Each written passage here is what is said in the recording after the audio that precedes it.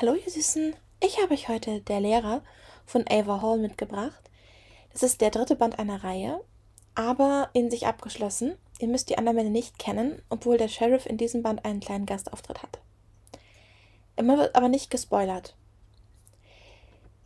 Das Buch ist Dark Romance und am Anfang konnte ich die Protagonisten nicht leiden, aber sie haben sich echt weiterentwickelt. Also, es lohnt sich durchzuhalten, finde ich. Hallo ihr Lieben, ich habe heute Der Lehrer von Ava Hall mitgebracht. Das ist der dritte Band der Kings of the Underground Reihe und für mich der zweitliebste Band der Reihe. Also bei dem Buch muss ich auch wieder eine Triggerwarnung aussprechen. Die Themen Vergewaltigung und Folter werden thematisiert. Und damit wollte ich euch nicht einfach so hängen lassen. Also deswegen die Triggerwarnung. In dem Buch geht es um Shane.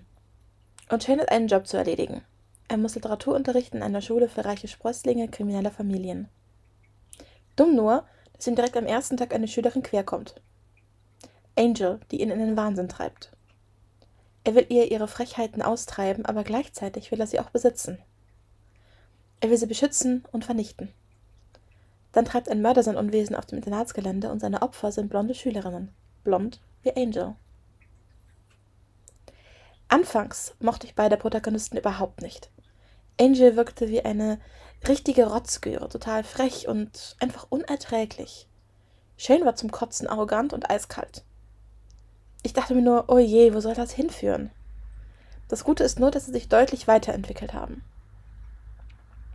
Anfangs sieht man von Angel nur diese Seite, die übersättigte, gelangweilte Rotzgöre. Sie glaubt, sie kann sich einfach alles erlauben und allen auf der Nase herumtanzen.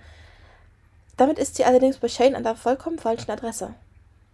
Doch in Angel steckt unter ihrer Fassade ein ganz anderer Mensch. Ein viel, viel sympathischerer Mensch. Shane ist am Anfang eiskalt, total berechnend und einfach mega unsympathisch. Ja, er hat dunkle Fantasien über Angel, aber vor allem ist er halt wirklich eins. Kalt. Man kommt nicht an ihn heran, bis er es will. Aber auch in ihm steckt viel mehr, als man es vermuten würde. Er entwickelt sich wirklich toll. Ja, bis er wieder in den A-Pump-Pump-Modus schaltet.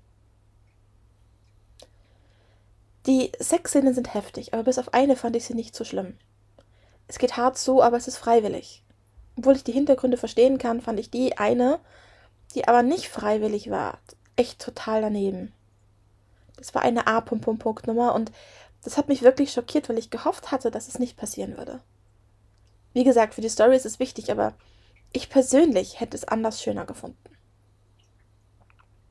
Was mir wirklich gut gefallen hat, war, wie sich die Protagonisten entwickelt haben. Beide, Shane und Angel, haben sich stark gewandelt, bis sie endlich anfingen, ihre Masken abzunehmen und sie selbst zu sein. Was mir leider nicht gefallen hat, war die Wendung. Das hat für mich irgendwie nicht richtig gepasst. Ich hatte Shane anders eingeschätzt. Der handelte einfach nur verdammt doof und handelt allem zuwider, was er zuvor gesagt und getan hat. Dieser Band hat mir nicht so gut gefallen wie der Sheriff, aber besser als der Caretaker. Anfangs mochte ich beide Protagonisten überhaupt nicht, aber sie haben sich deutlich weiterentwickelt. Und als man endlich hinter ihre Masken schauen und die echten Charaktere entdecken durfte, waren sie mir auch sehr, sehr sympathisch. Für mich hat die Wendung nicht zu Shanes sonstigem Verhalten gepasst. Ich fand, er hatte einfach echt doof gehandelt und einmal ist er mir auch deutlich zu weit gegangen. Von mir bekommt das Buch 3,5 Sterne. Das war's dann auch schon wieder von mir.